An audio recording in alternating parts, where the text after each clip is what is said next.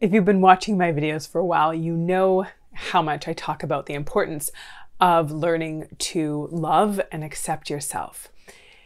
And it's not just because doing so is a good idea because you're the only person who has to live with yourself from the day you're born till the day you die. So it's probably a good idea to learn to like that person but also because the root of so many of our biggest issues is in our lack of self love and self acceptance. We're going to talk about this more in this video, and I'm going to show you what is going to start to get better and probably what you've noticed getting better as you've learned to like and accept yourself more for however long you've been doing this work. And the more you do it, the more you move into this place of liking, loving, accepting yourself for exactly who you are, the less you are going to struggle in so many areas that you may not have even realized are connected. I think this one is going to hit some places that it needs to hit. And also knowing that if you are struggling with any of these things that I talk about today, that learning to and doing the work to love and accept yourself is going to play a big part in helping you resolve many of these issues. Stay tuned. This is going to be a good one today. If you're new here, welcome to our incredible little corner on the internet. Take a second and introduce yourself in the comment section below. And if you're back again, say hello. And if you are new or old, make sure that you do subscribe to the channel. The button is about right down there. Either way, my name is Julia Kristina, and I'm a registered clinical therapist, a researcher, a coach, and the creator of my incredible membership community, the Shift Society, we are taking, where we are taking this work deeper. We are diving into these concepts at a deeper, more transformational level and doing it in community where you can get support and get help and not feel like you're doing it alone. And if you get stuck, having somewhere to go to get support. I help Heart Center Go Getter men and women break through the crap that is holding them back so that they can like themselves and their lives more every day. And the ironic part is a lot of the crap that we are struggling with is a result of our lack of healthy relationship with ourselves. It was Alfred Adler, who is one of the forefathers of modern psychology and a contemporary of Freud, who started talking about how so many of our struggles come from our lack of courage to let ourselves be imperfect that so many of the things that we struggle with are rooted in our own self doubt, in our own struggles with our self esteem, in our own sort of broken relationship with ourselves. And then all of the overcompensating, all of the fear, all of the posturing, all of the stuff that we do to try to make up for that, to try to overcompensate for that, to try to resolve that. But we end up doing it in ways that make it worse. And so today I want to talk to you about the things that you will stop doing as you start to love and accept yourself more. And you can all also, if these are ones that you have been struggling with, if you notice that like, yeah, I still struggle with those ones, then there's going to be some points here for you to take away to be like, yep, that's what I want to work on. And also knowing as I work on my relationship with myself, these ones will start to resolve themselves almost automatically without you even really realizing it. So it's this twofer, right? So we work on the issue itself and then also work on our relationship with ourselves. And then that combination makes the biggest change. It gets us the furthest, furthest and allows us to move forward more quickly, more easily, um, more effectively. My shifters who are here today, you have been working on this in, on a deeper level for a while now, for basically, you know, since you joined the Shift Society, this is a big part of the work that we're doing in there.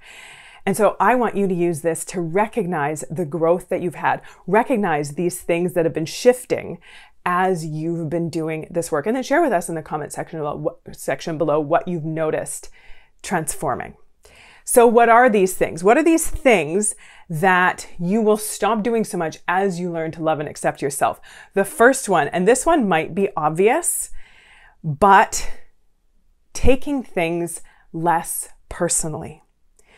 The reason why we take things personally is because we think someone else's actions, words, ideas, whatever that is, we think what they're doing or saying about us means more than what we think about us. So we are outsourcing our sense of self to other people's words or actions and then taking that in and taking it on and believing it to be true, believing that it's something against us, believing it is some kind of threat to us. But as we are more solid in our relationship with ourselves, we realize that little to nothing is personal that we can intentionally take a step back and decide, am I going to take this in? Am I going to take this on? What am I going to make this mean about me? And am I going to make it mean that I'm a reject, that I'm a loser, that this person doesn't love me, that there's something wrong with me? Am I going to make it mean that? Or am I going to go back to my own beliefs about myself, the ones that I've been working on, the ones that I've been getting more solid? Am I going to default to what other people are doing and what I'm going to make it mean about that, or what other people are saying and what I'm going to make it mean? Or am I going to default to what I think and what I make that mean? The next thing you'll stop doing so much is overthinking overthinking everything you did, overthinking everything you said. So much of our overthinking comes from our own self doubt, our own fear. What if I did that wrong? What if I said that wrong? What if they're taking it that way? What if they're thinking that about me? Again, it's putting our self worth in the hands of other people's perspectives, ideas, or opinions. When we are solid in our own, we don't need to outsource that when we're second guessing ourselves all the time, it's because we are doubting. We are doubting who we are. We're doubting that we won't be able to handle whatever it is that happens from whatever we did or said. Now, obviously, if we've done something hurtful or harmful, and we're second guessing that and realizing that like okay that was actually a really crappy thing to do and you know i need to go make it right i need to apologize i need to resolve this issue i need to address it. That's not what i'm talking about. I'm talking about the times where you're sitting and stressing and wondering and worrying and maybeing and what ifing instead of being like you know what? I think we're good. I think that if there is a problem from whatever I did or said, if I'm not aware that someone could have been taking it a certain way or someone could have been upset by it, I'm going to trust that if there was a problem, someone will address it, someone will bring it up, someone will approach me with it, we'll be able to work it out and talk it through and get past it. And I won't see it as this big threat. And then when it's those times when we're, yeah, worrying and wondering about what people are thinking about us. What if they took it this way? What if they, you know, what if they thought I meant that? What if they, what if they, you know, thought that, that, that this was what was going on here? And when we don't know exactly, when we're just speculating, reading into things too much, overthinking things too much, instead of just being like, you know what? I think we'll decide that we're going to be okay unless something comes about later on where it comes out that it's not, and then I will deal with it. We're going to talk about overthinking decisions in another video that's going to be coming up. So stay tuned for that because that's a whole other whole uh, topic in and of itself. But for those times when you find yourself overthinking things that you did or said, Building a more solid relationship with yourself is going to help you feel more confident, solid, and secure. And there's going to be less of this monkey mind going back and forth and here and there and everywhere. The next thing that you're going to stop doing so much as you learn to love and accept yourself is you're going to stop stressing about what other people think about you. It's pretty apparent. This one is pretty obvious, but we worry about what other people think about us when we are not sure what we think about us.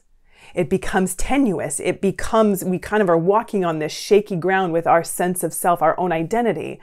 When we haven't established it, when it's not solid, then it becomes wavering based on what other people could be thinking.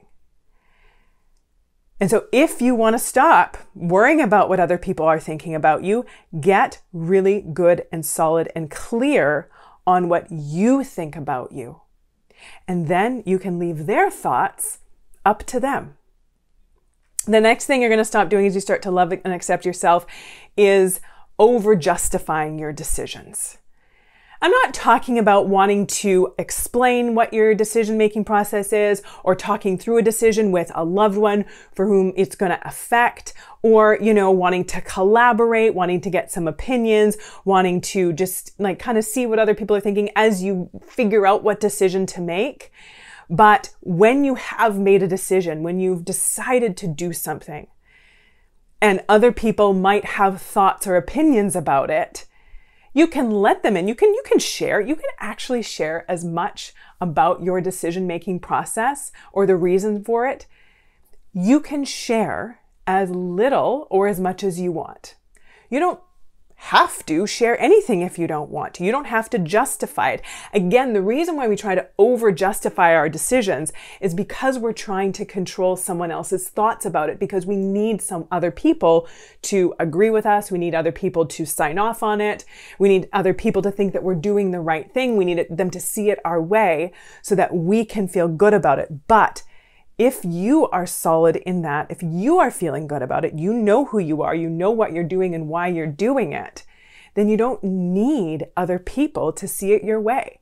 You don't need other people to give their permission or approval, especially if it doesn't impact them in any way, especially for those times when it's just about wanting people to, to see, right, to understand and to support when you don't actually need that from them and they might not even be willing to give it.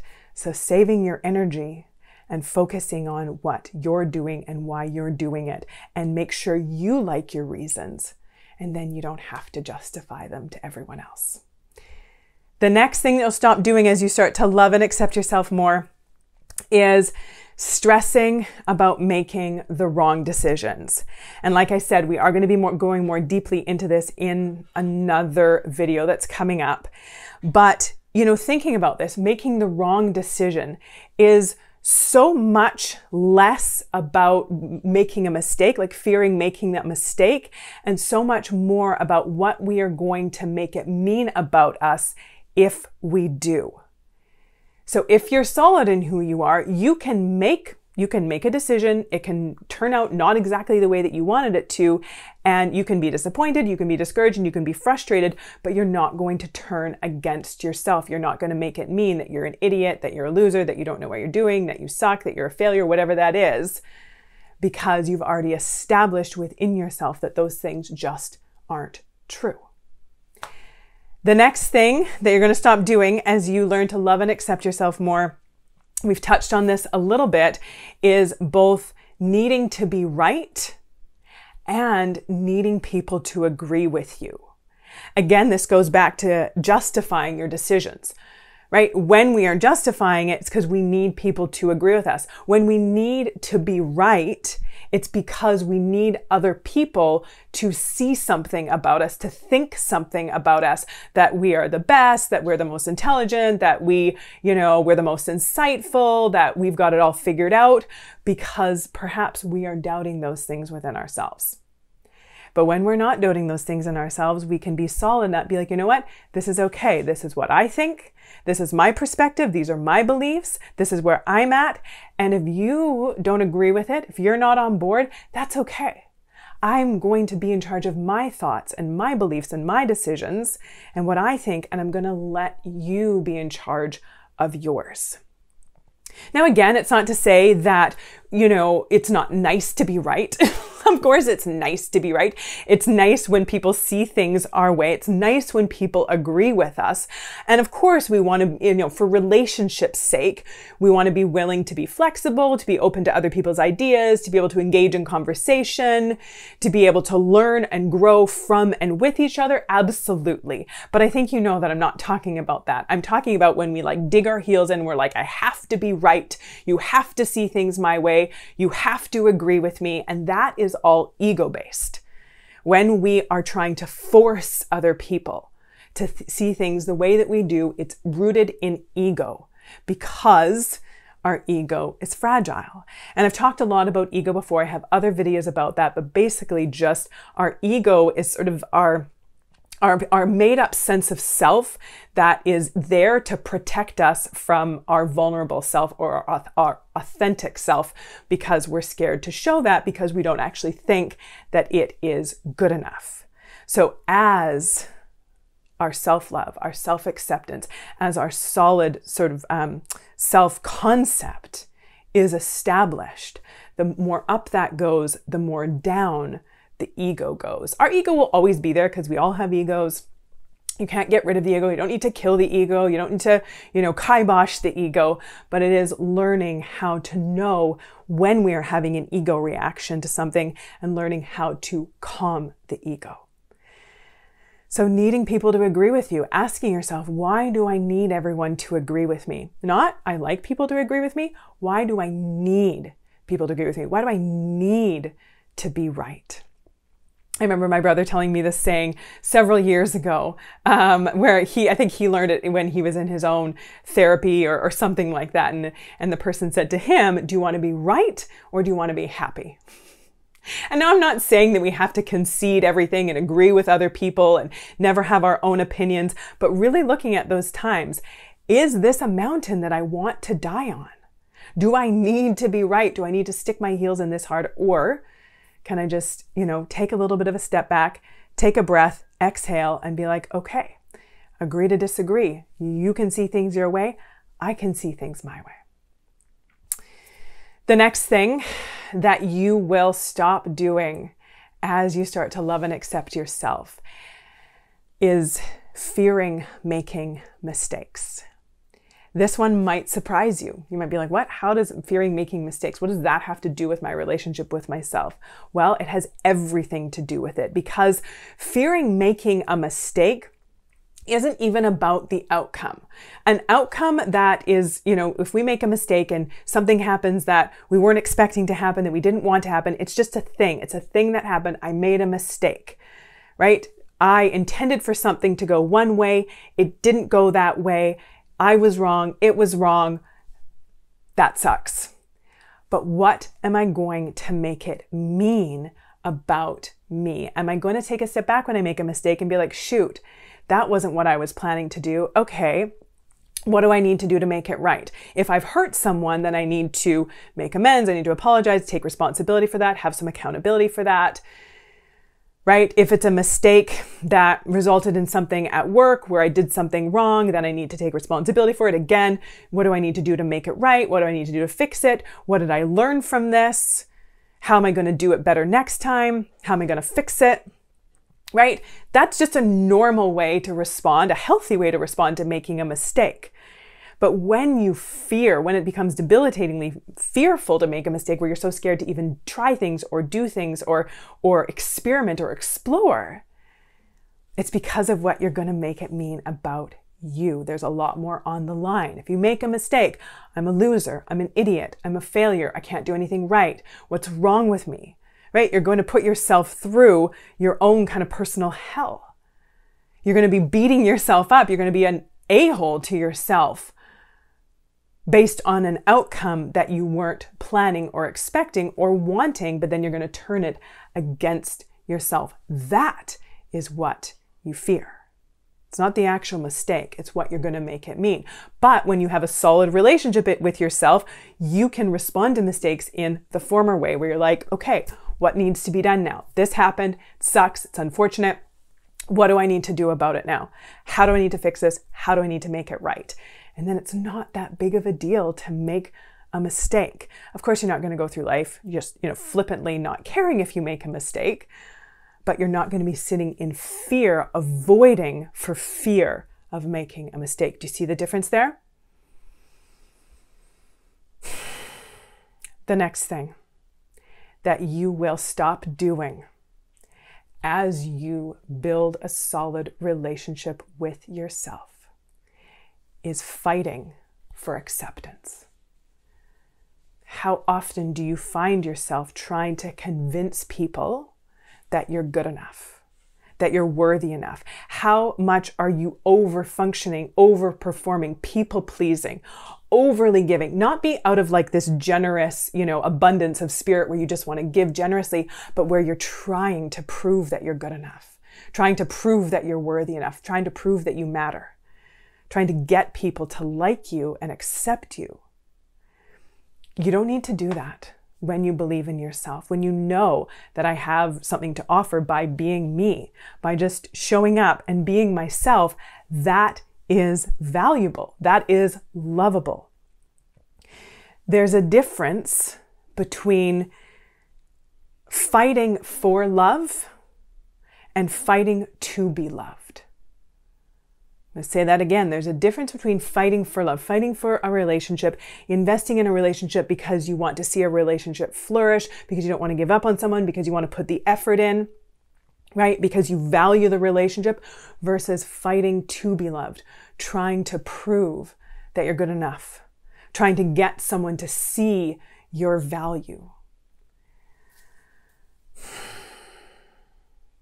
Which one of these surprised you? Where you're like, I didn't know that I had been struggling with this because I've been struggling with my relationship with myself and not feeling good about myself, liking, loving, accepting myself for who I am and making friends with myself. I know it sounds super cheesy, but we don't spend the time investing in our relationship with the most important person in our lives that we are stuck with 24 hours a day, seven days a week from birth until death. And it doesn't really occur to us to be like, huh, maybe I should be doing some work and investing in this relationship. Maybe I should work on liking this person, becoming friends with this person, enjoying just sort of spending time with this person.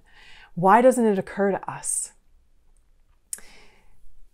The foundation for building your relationship with yourself, like the foundation of any solid relationship, is trust. Like a relationship with another three dimensional being, building trust is what is needed for a healthy relationship. Same goes for ourselves. Building trust within ourselves. And to get you started on that, I have a guide for you. It's the simple steps to self trust.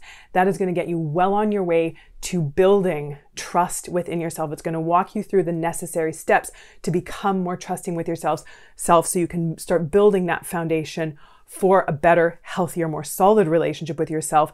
And you can use this guide while you are waiting for registration for the Shift Society to open, where we go even deeper into it and spend a good amount of time and energy um, developing a really solid relationship with ourselves. And we also work on these issues as well as other issues as well. Um, and we work on them at a deeper level. So we're working on the relationship with ourselves, we're working on the issues in and of themselves, and that combination creates the big transformation. Get more information about both of those in the description below. What are your thoughts? Would love to hear from you. Let me know where you at? What's going on? Um, like the video. If you liked it, hit the like button. Share it out if you think this would be helpful for other people. Um, and oh, subscribe to the channel if you haven't already. Until next time, take good care of you.